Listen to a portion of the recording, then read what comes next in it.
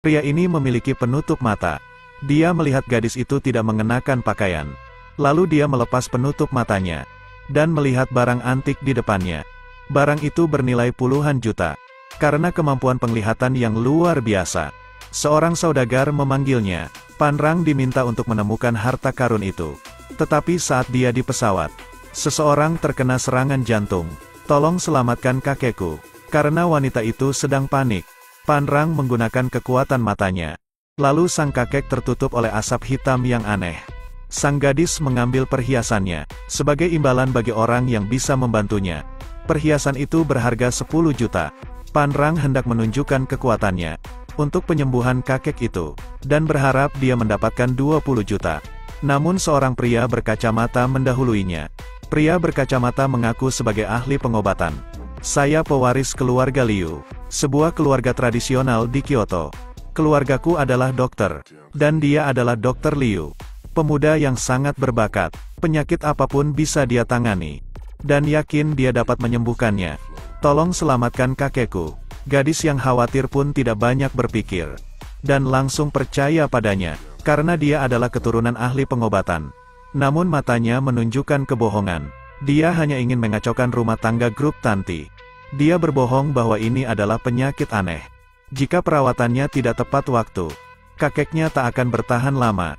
Apakah ada cara lainnya untuk menangani penyakit ini? Saya tidak yakin bahwa dia akan sembuh total. Tetapi saya memiliki obat itu. Dan mungkin akan membangunkannya, karena saya adalah Liu Xiansheng. Tidak peduli berapa banyak harta yang kau butuhkan. Keluarga Qin bisa memberi Anda semuanya. Bahkan saya bisa membayar Anda 10.000 dolar saat ini. Mendengar tawaran itu, Liu mengeluarkan sesuatu dari bajunya. Sekotak pil pusaka dikeluarkan. Panrang pun tidak bisa menahan tawa. Lalu berusaha menyangkal pendapat Liu. Karena dia hendak membunuh kakeknya. Obat ini adalah warisan leluhur saya yang sangat berharga. Jika dia meminumnya dia pasti akan sembuh. Lalu aku akan membawa kakekmu ke rumah sakit. Setelah pesawat ini mendarat, karena dengan kedokteran dari barat, kakeknya akan dilayani dengan baik dan bisa menyelamatkan nyawanya. Obat ini pasti akan bekerja. Saya bersumpah atas nama keluarga saya. Ini adalah obat rahasia warisan nenek moyang saya. Dan akan sangat efektif. Panrang pun menyanggah. Karena dia percaya dengan bualan Liu. Reputasi Liu dihancurkan olehnya. Apakah kau tahu siapa saya? Meskipun dia meminum obat ini. Kakekmu di sini tetap akan mati. Apa yang kau katakan? Jangan dengarkan dia. Tidak ada satupun kata yang benar darinya. Anak desa tidak layak untuk berbicara padaku. Apa yang kau tahu tentang kedokteran? Kau hanya orang biasa, karena uang kau menipu orang lain. Bibi saya mengalami hal yang sama. Tutup mulutmu sekarang. Saya adalah dokter. Seluruh rumah sakit tahu saya. Semua peralatannya memenuhi standar atas. Meskipun dia tidak bisa sembuh total. Dan kau mengaku bisa menyembuhkan penyakit. Sangat menyedihkan. Dia tidak bisa dipercaya. Bagaimana kau tahu dengan penyembuhannya? Hanya karena kau mengincar hadiahnya. Kau hendak menipu orang lain. Apakah kau juga belajar kedokteran? Sang gadis pun bertanya pada Panrang. Dia yakin bisa menyembuhkan kakeknya. Liu tetap tak yakin padanya. Namun sang gadis memberinya kesempatan. Apa kau tahu penyakit aneh ini? Tentu saja, saat tinggal di pegunungan, semua penduduk dalam radius 10 km mereka dibesarkan oleh saya. Sebelum turun gunung, sapi domestik milik penduduk mengalami diare. Saya yang menyembuhkannya, dan itu pun efektif. Lalu bagaimana dengan kakekku? Saya tidak mau kehilangan dia. Jangan mendengarkan omong kosongnya. Dia sangat tidak sopan padamu. Aku berbicara sesuai fakta. Penyakit bibiku bahkan dapat diobati. Begitu pula penyakit kakekmu. Dokter hewan hanya berani berbicara. Sang gadis memintanya berhenti. Apa kau mengenal keluarga Qin di Kyoto? Jika kau menghina keluarga Qin, mereka akan mengambil nyawamu. Maka dari itu dengarkan saya Nona. Liu kembali menawarkan pil miliknya. Dan membujuknya untuk pergi ke rumah sakit setelah mendarat. Obat ini tidak bisa diminum. Karena setelah pesawat mendarat, dan setelah minum pil ini, dia akan muntah darah lalu mati. Kau hanya mengacaukan segalanya. Kau hanya penyakit kakek saya. Saya akan membuatmu mati tanpa dikubur. Dan membuat matamu buta. Saat ini penyakitnya semakin parah. Sang gadis semakin panik, dan mendesak Liu untuk memberikan obat. Setelah sang kakek meminum obat itu, mereka menganggap kakek baik-baik saja. Lalu Liu kembali berbicara, dan mengejek Pan Rang dengan puas. Kini kau melihat kehebatanku.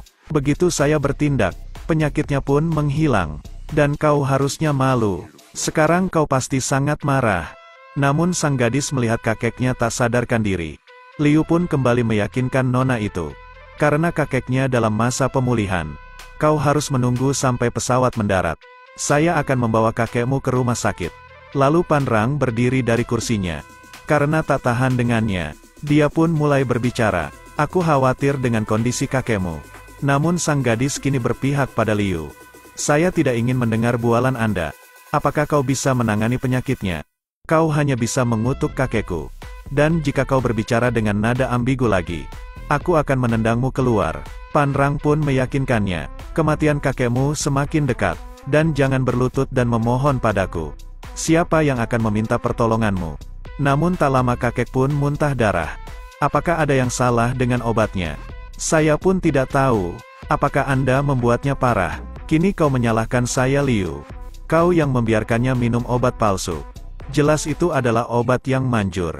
Bagaimana bisa palsu? Karena obat itu tak cocok dengan kakeknya. Obat ini terbuat dari urin anak-anak, lalu dicampur zat obat yang berbahaya. Setelah minum obat ini, dia pasti akan muntah darah. Nona tolong dengarkan aku, aku sudah muak dengan kebohonganmu. Karena memberi kakek saya air seni. Aku tak bermaksud seperti itu Nona. Kau hanya rakus akan uang dari keluarga kami. Kau hanya seorang penipu. Dan kini gadis itu percaya pada Panrang. Baiklah segera selamatkan dia.